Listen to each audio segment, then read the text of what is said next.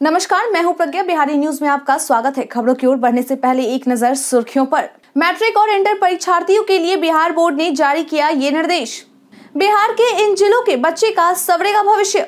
बिहार में ज़मीन दाखिल खारिज को लेकर विभाग ने बनाया नया नियम। बिहार में लाइसेंस रिन्यूअल में बढ़ेगी सख्ती।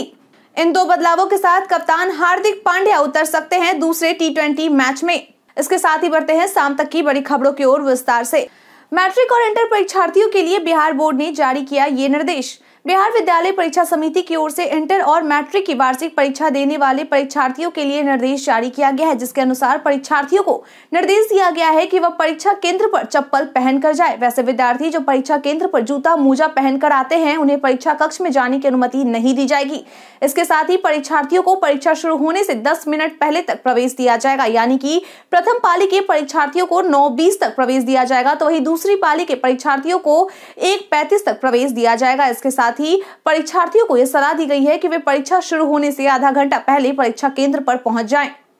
मन की बात में पीएम मोदी ने की बड़ी घोषणा। प्रधानमंत्री नरेंद्र मोदी ने रविवार, यानी कि आज मन की बात में विभिन्न विचार व्यक्त किए। बता दें कि पीएम मोदी ने मोटे अनाज के उपयोग की महत्ता को लेकर महत्वपूर्ण घोषणा की। उन्होंने कहा कि योग दिवस और हमारे विभिन्न तरह के मोटे अनाजों में काफ़ी कुछ कॉमन है, जिस तरह लोग व्यापक स्तर पर सक्रिय भागीदारी करके योग और फिटनेस को अपने जीवन का हिस्सा बना रहे हैं। ठीक उसी तरह मोटे अनाज को भी लोग बड़े पैमाने पर अपना रहे हैं। उन्होंने कहा कि मुझे इस बात की खुशी है कि जी बीस की समिट में मोटे अनाज अनाज से बने पौष्टिक और स्वादिष्ट व्यंजन को शामिल किया जा रहा है, जिससे यह अनुमान लगाया जा सकता है कि हमारे छोटे किसानों को कितनी ताकत मिल रही है। इसके साथ ही उन्होंने लोगों को बधाई देते हुए कहा कि इंटरनेशनल ईयर ऑफ़ माइलेट्स कैसे शानदार शुरुआत के लिए और उसको लगातार आगे बढ़ाने के लिए मैं सभी मन की बात की श्रोताओं को बधाई देता हूँ। बिहार के इन जिलों के बच्चों का सवरेगा भविष्य। जल्द ही बिहार के आठ जिलों में मॉडल कैरियर केंद्र खुलने वाले हैं, जिनसे वहाँ के युवाओं को रोज़गार की जानकारी मिल सकेगी और साथ ही उन्हें पत्र पत्रिका और प्रतियोगी पुस्तक भी उपलब्ध हो सकेंगे। इसके अलावा छात्र यहाँ से आराम से किसी भी तरह का आवेदन ऑनलाइन फ्री में कर पाएँगे। बता दें कि इस केंद्र का निर्माण करने का लक्ष्य इसी वर्ष दिसंबर तक रखा गया है और इसके लिए श्रम संसाधन विभाग की ओर से पैसे भी उपलब्ध करा दिए गए हैं। साथ ही विभाग के द्वारा संबंधित जिलों को दिशा निर्देश भेज दिया गया है। आपकी जानकारी के लिए बता दें कि जिन आठ जिलों में इस केंद्र का निर्माण किया जा रहा है। उनमें गया, दरभंगा, डालमिया नगर, पूर्णिया, सुपौल, नालंदा, बक्सर और मुंगेर शामिल है। बिहार में ज़मीन दाखिल खारिज को लेकर विभाग ने बनाया नया नियम। राज्य सरकार के द्वारा बिहार में भूमि विवाद पर लगाम लगाने के लिए दाखिल खारिज के नियम को और सख्त बना दिया है। बता दें कि नई व्यवस्था के अनुसार अब अंचल अधिकारी किसी भी सूरत में दाखिल खारिज के आवेदन पर दोबारा विचार नहीं कर सकेंगे। अगर उन्होंने एक बार दाखिल खारिज के किसी आवेदन को अस्वीकृत कर दिया है तो वह दोबारा उसे स्वीकृत नहीं कर पाएँगे। बता दें कि उनके द्वारा आवेदन और स्वीकृत करते ही विचार के लिए वह मामला भूमि सुधार उपसंहारता के स्तर पर ही विचार किया जा सकेगा। हालाँकि वे अपने पूर्व के आदेश पर पुनर्विचार के लिए रैयत को भूमि सुधार अपसमहारता के न्यायालय में अपील के लिए दायर करने को निर्देश दे सकते हैं। पटना वासी इस महीने से जा सकेंगे तारामंडल। राजधानी पटना में रहने वाले लोग एक बार फिर से आधुनिक तारामंडल का आनंद मई से उठा सकेंगे। बता दें कि मुख्यमंत्री नीतीश कुमार के द्वारा दिए गए निर्देश के बाद तारामंडल को 36 करोड़ रुपए की लागत से अत्याधुनिक मशीनों और सुविधाओं से लैस किया जा रहा है और फ़िलहाल इसके मुख्य भवन का काम अंतिम चरण में है, जिसे मार्च तक पूरा कर दिए जाने की संभावना है। जिसके बाद सफल ट्रायल करने के बाद इसे मई महीने से पटना वासियों के लिए खोल दिया जाएगा। वहीं इस परिसर में अन्य जन सुविधाओं संबंधित भवनों का निर्माण इस साल के अंत तक पूरा किए जाने का लक्ष्य रखा गया है। बता दें कि पटना वासी थ्री में तारों की दुनिया को करीब से देख सकेंगे और साथ ही सौर मंडल पर बनी वर्ल्ड क्लास फ़िल्म का भी मज़ा ले सकेंगे। बिहार में फर्जी मदरसों पर एक्शन शुरू। बीते दिन पटना हाईकोर्ट के चीफ जस्टिस संजय करोल व जस्टिस पार्थ सारथी की खंडपीठ के द्वारा जाली कागजात पर पूरे प्रदेश में दो हज़ार चार सौ उनसठ मदरसे संचालित किए जा रहे जनहित याचिका पर सुनवाई करते हुए जाँच तक प्रदेश के 609 मदरसों के अनुदान पर रोक लगा दी गई थी। वही इस मामले को लेकर अब हाईकोर्ट के निर्देश के बाद सीतामढ़ी में मदरसों की जाँच के लिए एक कमेटी का गठन किया गया है और जाँच की जिम्मेवारी जिला शिक्षा पदाधिकारी और उनके टीम को दी गई थी, जिनके द्वारा जाँच पूरी कर ली गई है। वही अब इस जाँच को माननीय न्यायालय में सौंपा जाएगा और उसके बाद आगे की कार्रवाई की जाएगी। इस बात की जानकारी सीतामढ़ी डीएम मनीष कुमार मीना के द्वारा दी गई है। आपकी जानकारी के लिए बता दें कि 609 मदरसों में सीतामढ़ी में अकेले अट्ठासी मदरसे शामिल थे, जिनके अनुदान पर रोक लगा दी गई थी।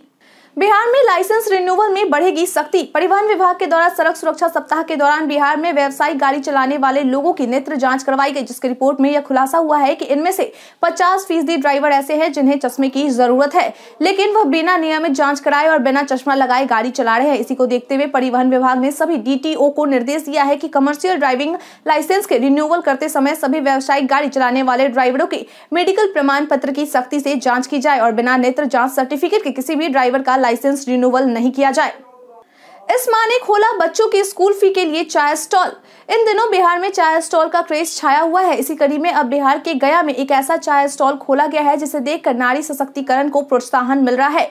बता दें कि ज़िले के नूतन नगर की रहने वाली पम्मी शर्मा अपनी नारी शक्ति चाय वाली स्टॉल के लिए काफ़ी जानी जाती है। उन्होंने यह स्टॉल तब खोला था जब उनके घर की हालत बेहद खराब थी और उन्हें अपने बच्चों के स्कूल की फ़ी भरनी थी। पम्मी शर्मा ने अपने पति और परिवार के किसी भी सदस्य को बिना बताए चाय का स्टॉल खोला था। हालाँकि उनके पास पूंजी कम थी, जिस वजह से उन्हें चाय का स्टॉल ही खोलना पड़ा। उन्होंने अपने इस दुकान का नाम नारी शक्ति चाय वाली इसलिए रखा ताकि इसे समाज में महिलाओं को तोड़ने और झुकाने वालों को एक चैलेंज मिल सके।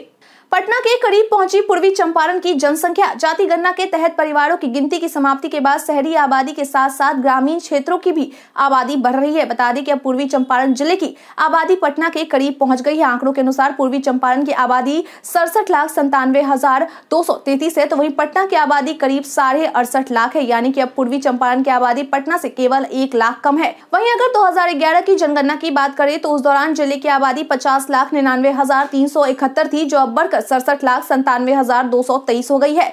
यानी कि 2011 की तुलना में 2023 में आबादी की कुल संख्या सोलह लाख संतानवे हज़ार छह सौ उनतीस बढ़ोतरी हुई है। बिहार के होनहार बिटिया बहत्तर घंटे के लिए बनेगी रोपहत्था पंचायत के प्रधान।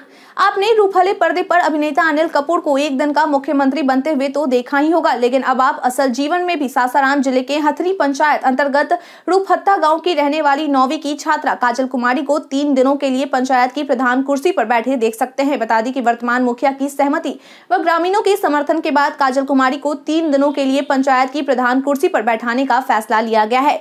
सोमवार से बुधवार तक काजल पंचायत से जुड़ी गतिविधियों और विकास कार्यों से रूबरू होंगी और साथ ही पंचायत में ग्राम सभा भी आयोजित होगी और उस दिन विकास योजना का प्रस्ताव भी सर्वसम्मति से पारित किया जाएगा। हालाँकि काजल की कैबिनेट का भी गठन किया गया है, जिनमें उनके साथ पढ़ने वाले छात्र छात्राओं को शामिल किया गया है। मालूम हो कि काजल कुमारी को यह अवसर इसलिए प्रदान किया गया है क्योंकि 25 जनवरी को विद्यालय में प्रतियोगिता आयोजित की गई थी, जिसमें वह प्रथम आई थी।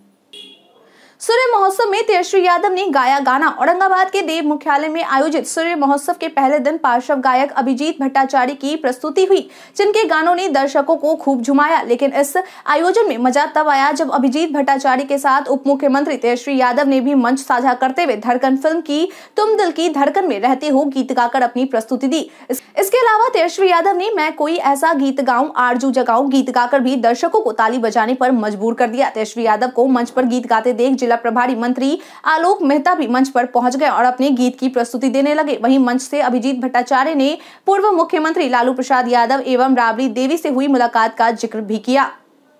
बिहार के लिए विशेष राज्य की मांग पर भड़के सुशील मोदी। एक तरफ़ जहाँ मुख्यमंत्री नीतीश कुमार के द्वारा बिहार को विशेष राज्य दर्जा देने की बात कही जा रही है तो वहीं दूसरी ओर पूर्व डिप्टी सीएम और राज्यसभा सांसद सुशील मोदी ने इसे लेकर महागठबंधन सरकार पर कई सवाल दाग दिए। उन्होंने कहा कि जब लालू प्रसाद उन्होंने कहा कि जब लालू प्रसाद और नीतीश कुमार केंद्र में ताकतवर मंत्री थे, तब बिहार को विशेष राज्य का दर्जा क्यों नहीं मिल सका? जो लालू प्रसाद बिहार में राष्ट्रपति शासन लगवाने के लिए आधी रात के बाद राष्ट्रपति को जगाकर उनका हस्ताक्षर हस्ताक्षर करवाने का सुपर पावर रखते हैं। वह तेजस्वी यादव को बताया कि बिहार को विशेष राज्य दर्जा दिलाने में विफल कैसे हो गए उन्होंने उन्होंने नीतीश कुमार पर आरोप लगाते हुए कहा कि नीतीश कुमार विशेष राज्य के मुद्दे पर राजनीतिकरण कर विभिन्न समितियों की रिपोर्ट को छूट में लाना चाहते हैं। विशेष राज्य के मुद्दे पर इंटर मिनिस्ट्रियल ग्रुप और रघुराम राजन कमेटी के द्वारा भी बिहार को विशेष राज्य का दर्जा देने की मांग स्वीकार नहीं की गई है। मुख्यमंत्री नीतीश कुमार के खिलाफ सुधाकर सिंह के बदले सुर। बिहार के मुख्यमंत्री नीतीश कुमार के खिलाफ विधायक सुधाकर सिंह लगातार बयानबाजी करते नज़र आते हैं, लेकिन अब उनके सुर बदले बदले नज़र आने लगे हैं।